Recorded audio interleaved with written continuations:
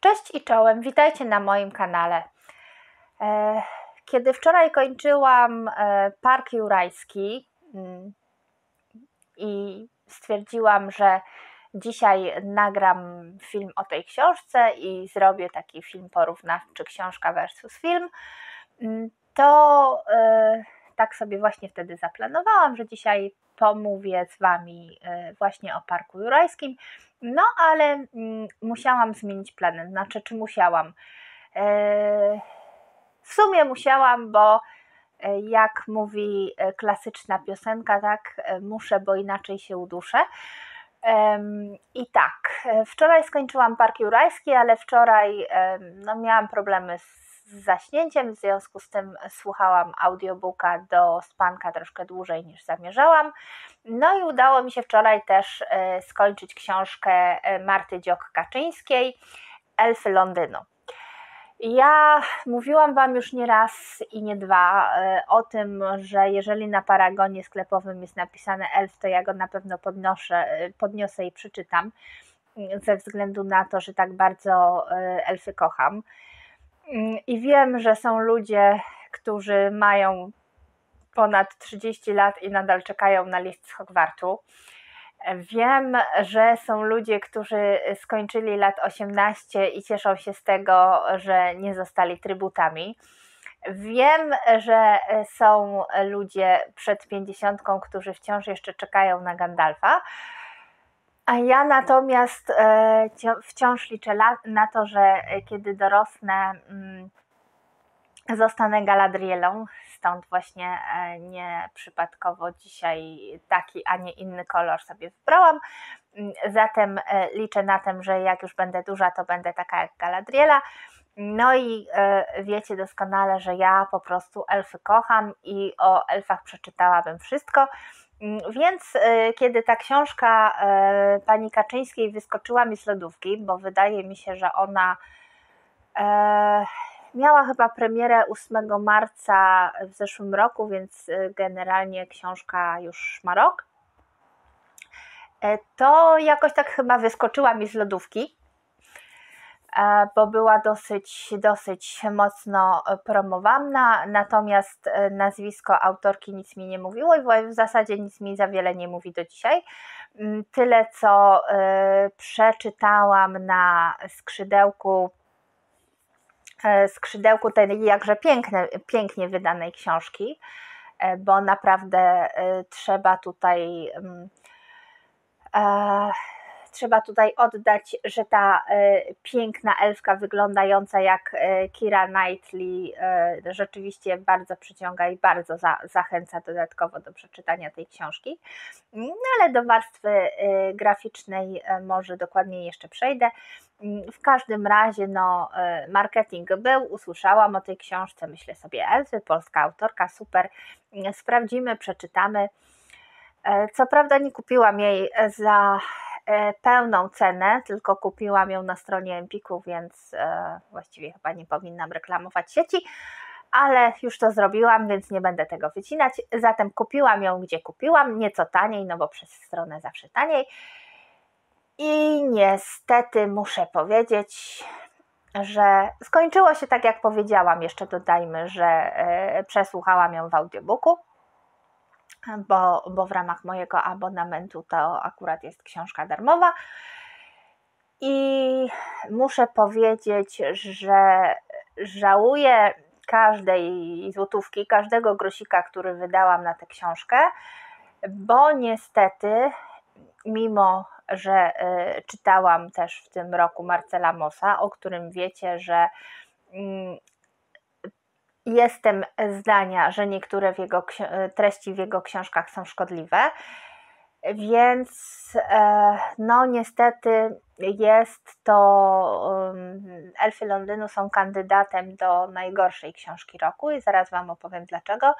Mm, ale e, przede wszystkim muszę zacząć od tego, że jest mi bardzo przykro, bo ja generalnie nie lubię krytykować książek bo wychodzę trochę tutaj z pozycji nie tylko czytelnika, ale też autora.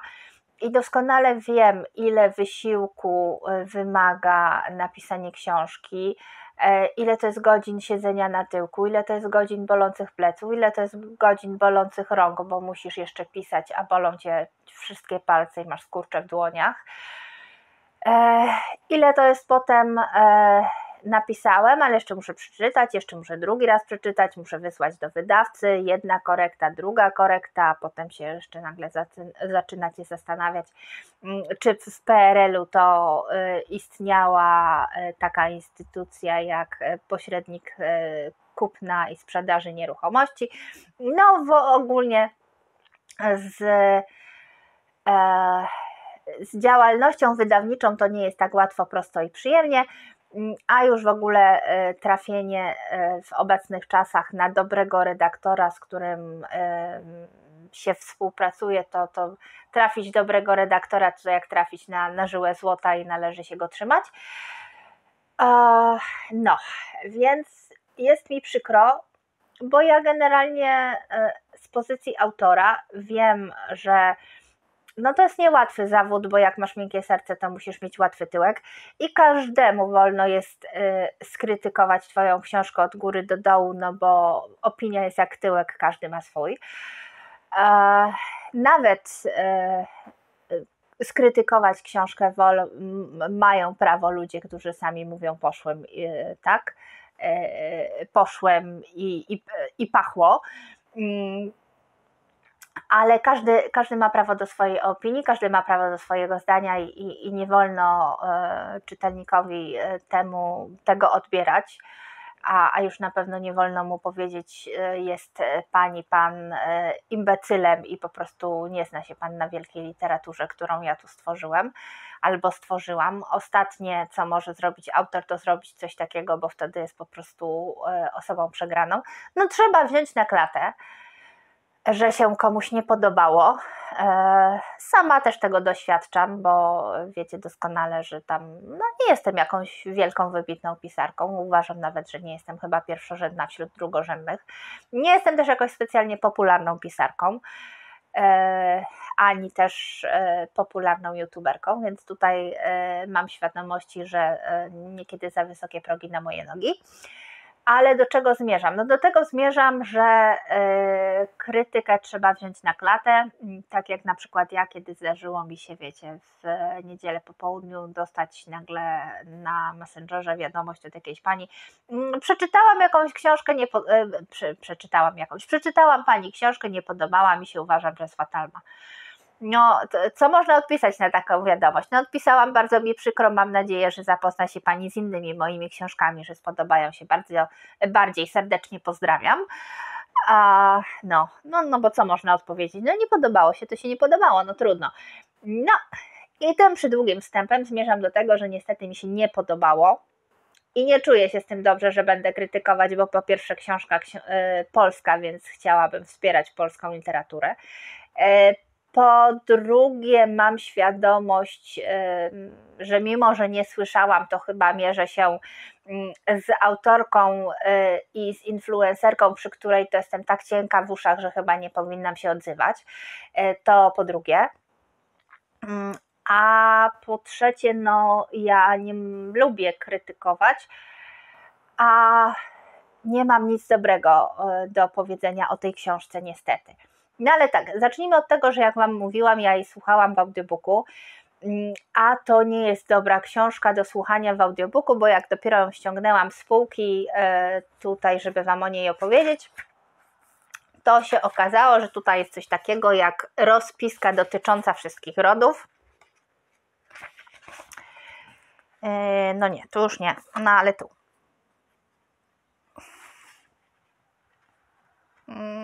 O matko, matko, matko. O, piękna rozpiska dotycząca wszystkich rodów. Można sobie sprawdzać w trakcie, kto jest kto. No, audiobook jest tego pozbawiony. I tak, pierwszy minus tej książki. Hmm, nie, dobra, zacznijmy od tego, o czym to jest.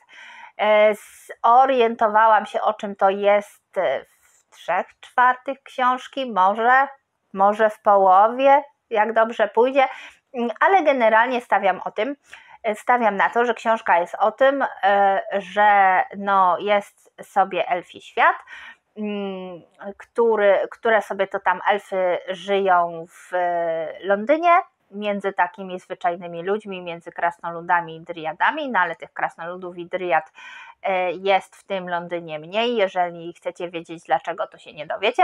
No ale w każdym razie elfów jest dużo, jest sobie elfa, elfia arystokracja, są różne rody. Jest jakaś e, organizacja terrorystyczna, która planuje jakieś zamachy. Jak chcecie wiedzieć dlaczego, to się nie dowiecie. Mm, no i są dwie bohaterki, mm, Avril i Arian Roth.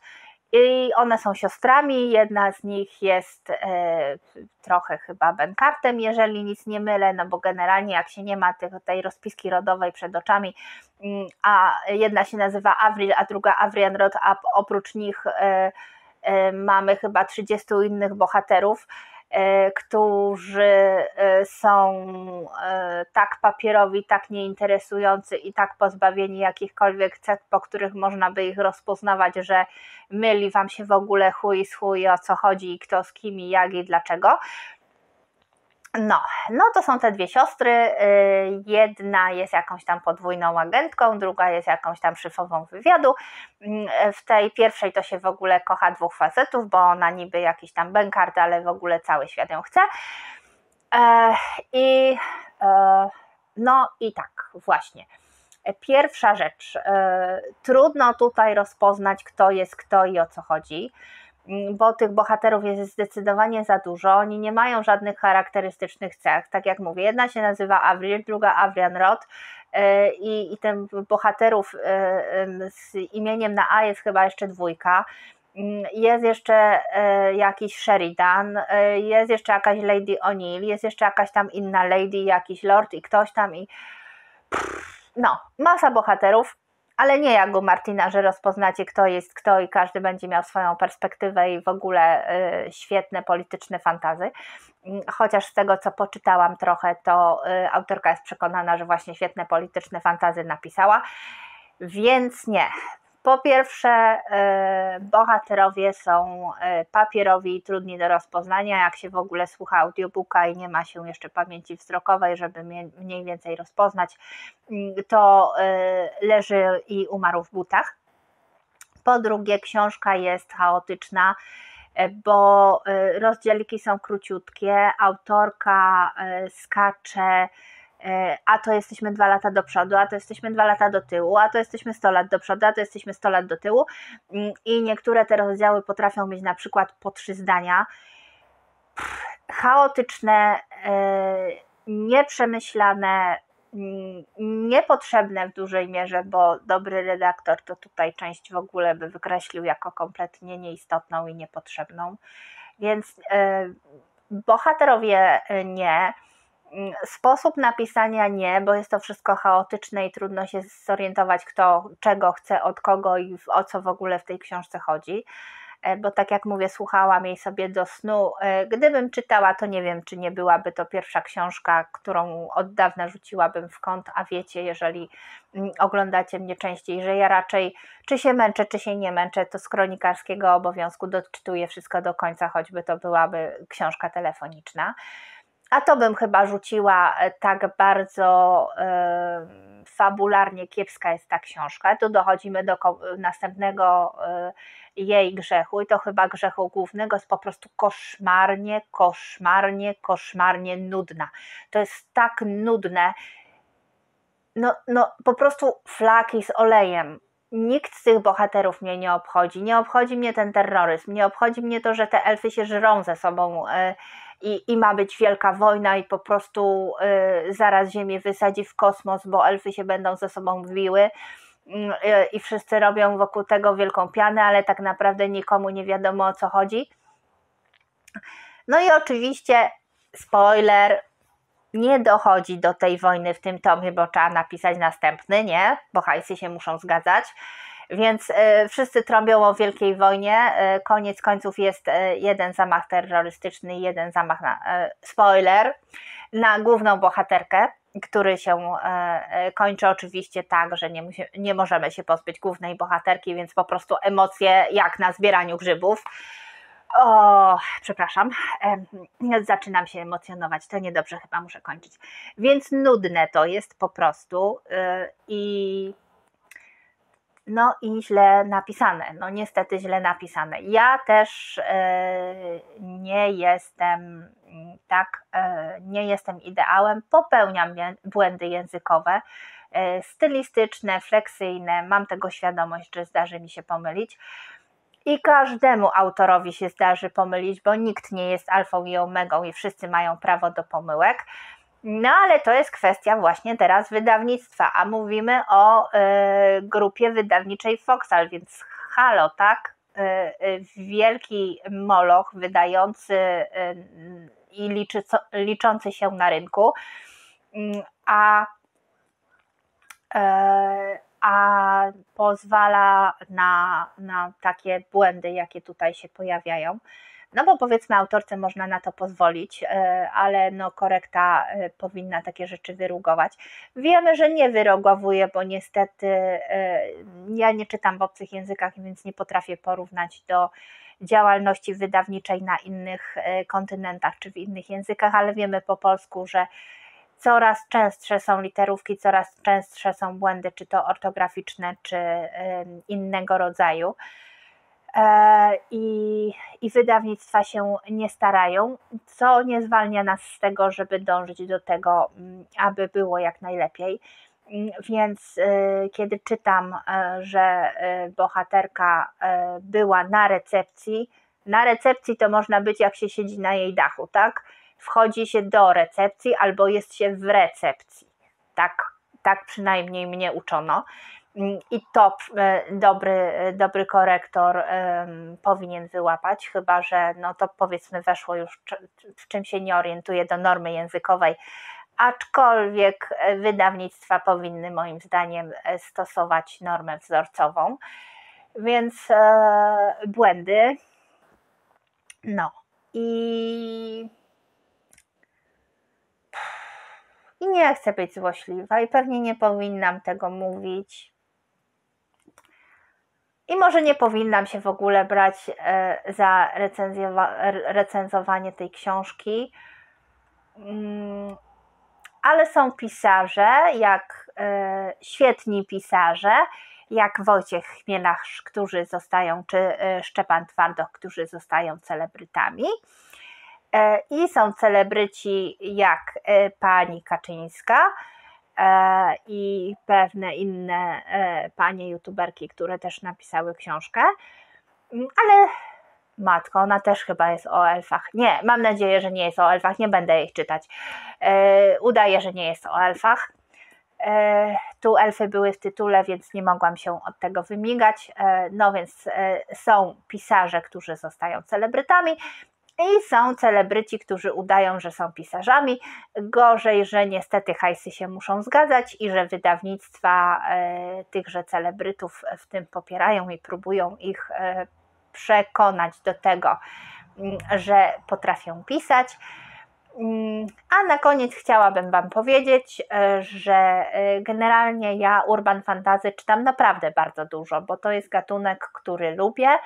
Mm, więc e, czytałam i Ilonę Andrews, e, czytałam e, Jima Bachera, serię o Harem Dresdenie, skąd inąd świetną, ale jeżeli chcecie sobie poczytać dobre urban fantazy o Londynie, to nie to, nie to, tylko to.